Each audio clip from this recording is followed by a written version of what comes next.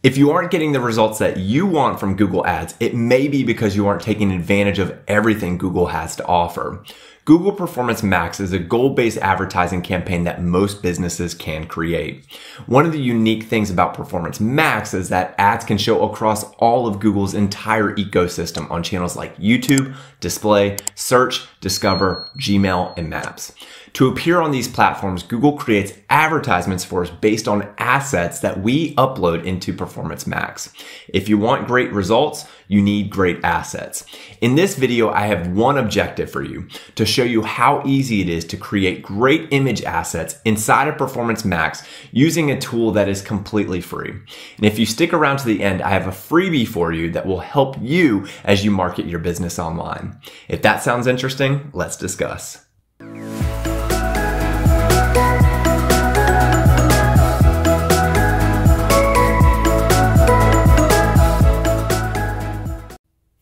Hey friends, my name is Scott Redgate, and if you're new to this channel, I'm passionate about helping small businesses make more and spend less and show you that you have what it takes to manage your own online marketing campaigns. Today, I'm going to review the specs and best practices for your image assets inside of Performance Max. And I'm going to share a tool with you that is completely free that makes incredible graphics with no design experience. Full disclosure, I am not a designer. I've been advertising on Google Ads since 2010 and have picked up some helpful pointers throughout the years. But if you want simple and practical tips to make your ads more visually appealing and attention grabbing, let's jump into the slides. All right, so to start, we are going to talk about the specs for your image assets inside of Performance Max.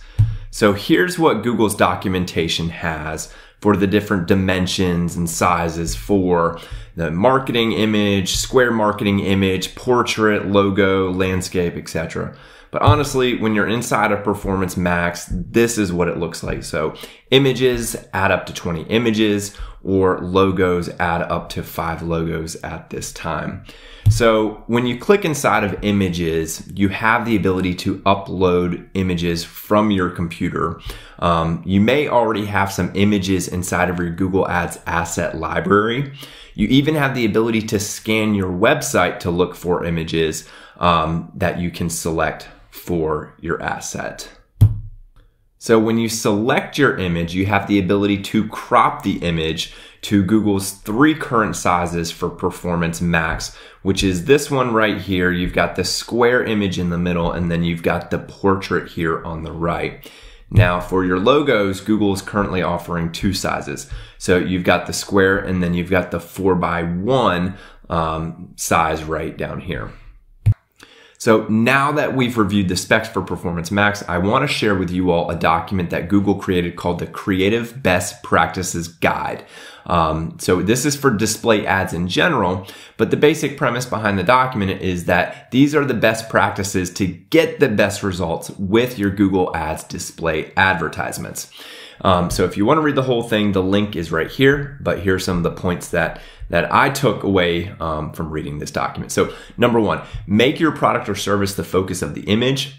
Preserve the original image, ensuring it's in focus.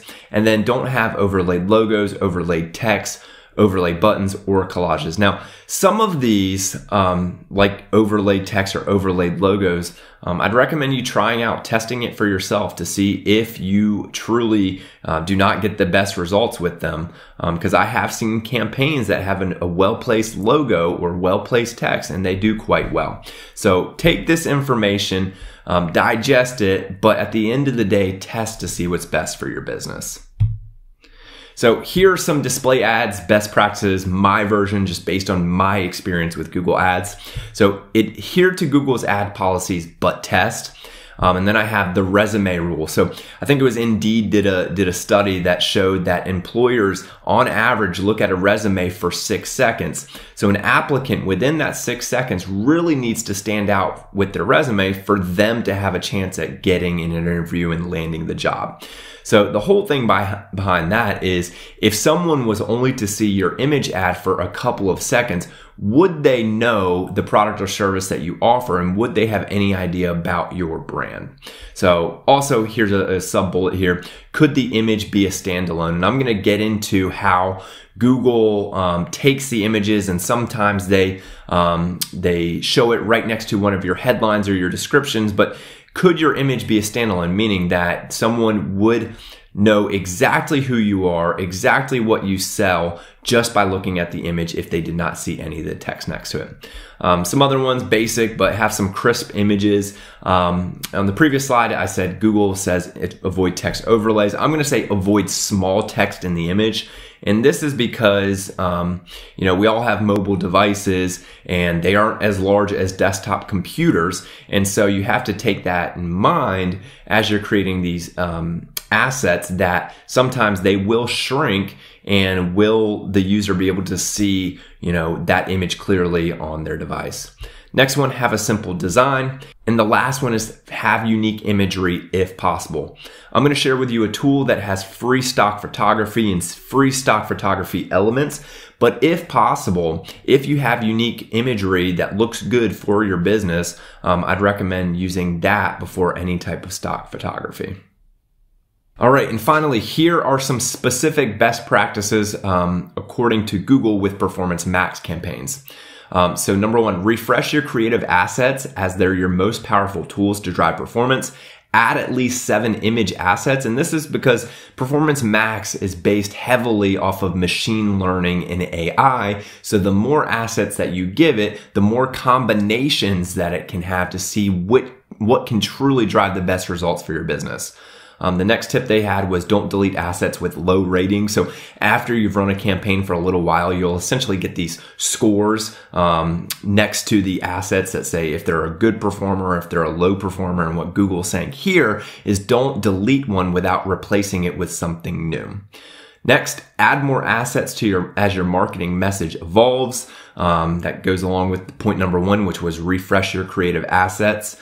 Um, and then last, more assets equals more combinate, more ad combination. So again, at, like Google really right here, they're just trying to get at have a lot of assets for them to choose for the system to be able to do its thing and select the assets that could drive the most um, conversions for you. So now the tool that I want to share with you, and again, I am not a designer, but I discovered this tool and it has been a game changer for me, and that is Canva.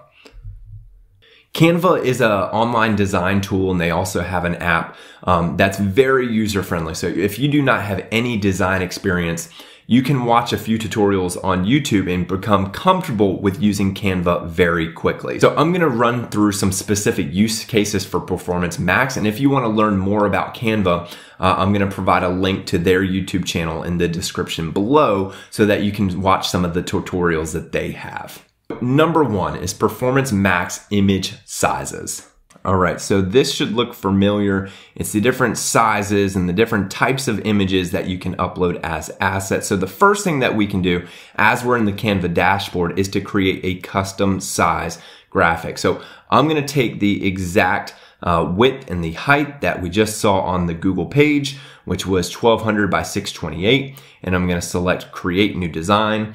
And here you'll notice that the canvas that we have to work with is exactly to those size specifications. So um, here I'll take the other one here, which was the square marketing image, the 1200 by 1200. And I'll simply input the height as 1200 create new design. And again, the canvas that we have to work with is exactly to those specs. So really cool. You can um, see exactly um, what you'll be working with and what you'll be uploading inside of Google Ads. Next, I'm going to share with you how you can remove the background imagery um, with Canva. And I'm also going to show a tool if you do not have the pro version of Canva uh, that can do it just as well. So the next thing that we're gonna do here is we're gonna attempt to remove the background. So here's a picture of me in the upload section um, wearing a yellow shirt, recording a video, and you'll see this dark gray background behind me. So if you have the pro version of Canva, I believe it costs between 12 and $13 per month, you can instantly remove background images Um, but here, I want to show you another way to do that if you do not have the, the free version, and that's by using a website called Remove BG. And so here, I just went into Remove BG, I uploaded my image, and you'll see that it removed the background with without having to do any design work whatsoever. And so once you go into remove BG, you can take that image and re-upload it into Canva. And let's scroll up here and you'll now notice that that background is completely removed. So another benefit to Canva is the free images and free icons and free elements that you have the ability to use um, as you create your assets.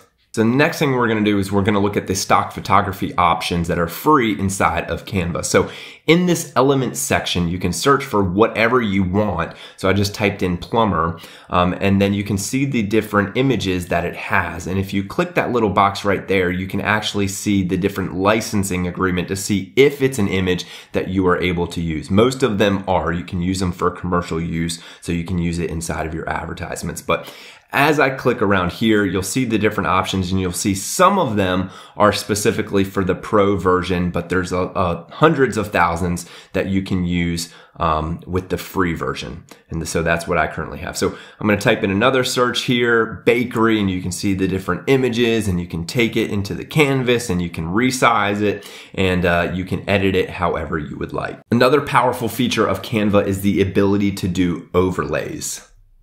So the next thing that I'm going to show you to do um, is to do overlays. And so I know that I said that with Google's best practices, they recommended against overlays, but I really feel that you need to test to see what works best for you in your specific business. So inside of Canva, uh, you have the ability to create a background. And then if you click the elements tab, um, you can then select um, an element and then drag it over top of that background. Or you can actually come in here and you can add in text and add a background to the text um, to overlay the image. And you can try out different colors here, turned it white. Now let's turn it black.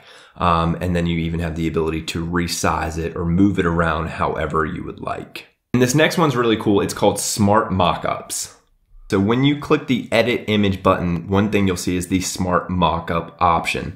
And so what this allows you to do is very quickly take an image and actually um, place it on different objects like laptops or phones or the dozens and dozens of other options that Canva has. So I just put my uh, picture on a computer. And so the next thing that I'll do here is I'll actually put it on a sweatshirt and you see how quick and easy that is to do. And again, I didn't have to do any real design here. I just clicked a couple of buttons and there it is. And this is a big time saver inside of Canva, and that's the ability to load brand colors.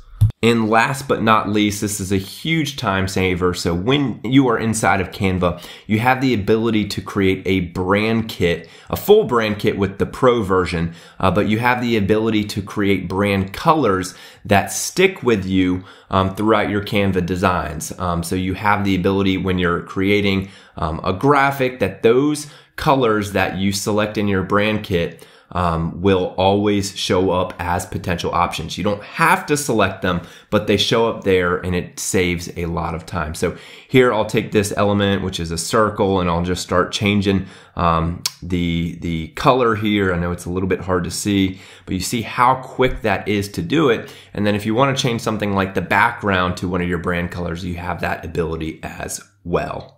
I hope those insights were helpful for you and I'm curious. Let me know in the comments below what design tips you've seen success with with your Performance Max assets. And since you've stuck around to the end, I have a free gift that I want to give you. It's my seven day online marketing jumpstart PDF. You can get it at scottredgate.com slash jumpstart. If you're looking for simple tips that can get your business results, this is the document for you and it's completely free. After you complete the steps outlined in this doc, not only will your website have a solid foundation to generate more leads or more revenue, but you'll have a lot more confidence that you can manage your own online marketing campaigns. Thank you so much for watching this video. Until next time.